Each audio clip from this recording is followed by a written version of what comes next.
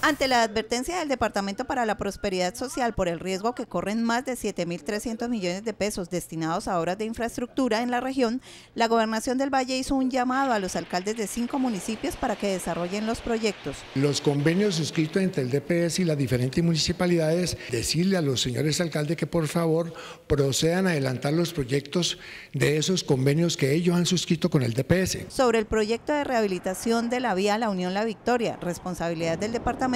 la Secretaría de Infraestructura del Valle estima que en 15 días esta saldrá a licitación. Muy posiblemente en los primeros 15 días del mes de junio, a más tardar, estaremos en proceso de licitación para poder adelantar esta importante obra de la rehabilitación de la Unión La Victoria con un presupuesto de 4.600 millones de pesos aportados por el DPS, lo cual alcanza para rehabilitar 3.2 kilómetros de los 7 kilómetros que contempla esta vía. Señaló que la gobernadora del Valle ha dispuesto a apropiar recursos de regalías por 7.800 millones de pesos para terminar los 3.8 kilómetros que faltarían para rehabilitar completamente esta vía.